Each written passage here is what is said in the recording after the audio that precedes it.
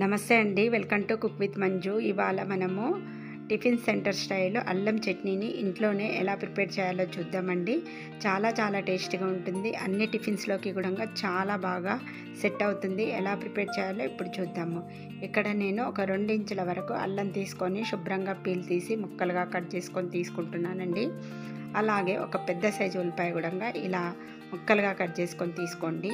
చింతపండు నిమ్మకాయ సైజ్ అంత చింతపండు నానబెట్టేసుకొని పెట్టుకోండి. ఒక పావు కప్పు బెల్లం తీసుకోండి. పల్లీలు ఎండుమిర్చి ధనియాలు మినప్పప్పు కూడా తీసేసుకోవాలి.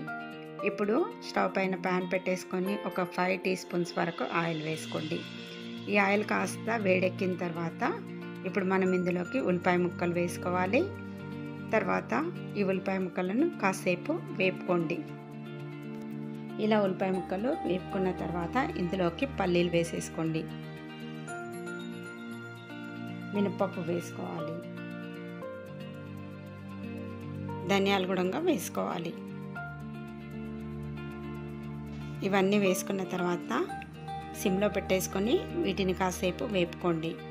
ఇప్పుడు కట్ చేసి పెట్టేసుకున్న అల్లం వేసుకోవాలి. అల్లం వేసేసుకొని కలుపుకోవాలి. కాసేపు ఇవి వేగాలండి.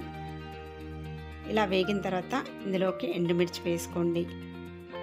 ఎండుమిర్చి కూడా బాగా వేపుకోవాలి. ఇవన్నీ ఇలా బాగా వేగాలండి. వేగిన తర్వాత చల్లారిన తర్వాత మిక్సీ జార్లో వేసుకొని ముందుగా ఇలా బరకగా మిక్సీ పట్టేసుకోండి. ఇలా మిక్సీ పట్టేసుకున్న తర్వాత ఇందులో నానబెట్టేసుకున్న చింతపండు వేసుకోండి.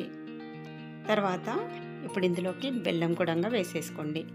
బెల్లం ప్లేస్లో మీరు షుగర్ కూడా వాడుకోవచ్చు. రుచికి సరిపడా ఉప్పు వేసుకోండి. వేసేసుకొని ఇలా మెత్తగా మిక్సీ పట్టేసుకొని ఒక బౌల్లోకి తీసేసుకోవాలి. చూసారు కదా ఇది అంతా ఒక బౌల్లో వేసేసుకున్న తర్వాత పోపు పెట్టేసుకోవాలి. ఆయిల్ వేసేసుకోవాలి. ఇప్పుడు ఆయిల్ కాగిన తర్వాత ఇందులోకి ఆవాలు జీలకర్ర తర్వాత కొద్దిగా మినపప్పు వేసుకోవాలి. కొద్దిగా ఇంగువ కొద్దిగా పసుపు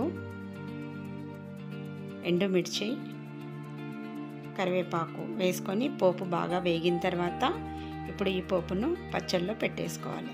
అంతే అండి మనకు అల్లం పచ్చడి రెడీ అయిపోయింది. చాలా చాలా రుచిగా ఉంటుందండి.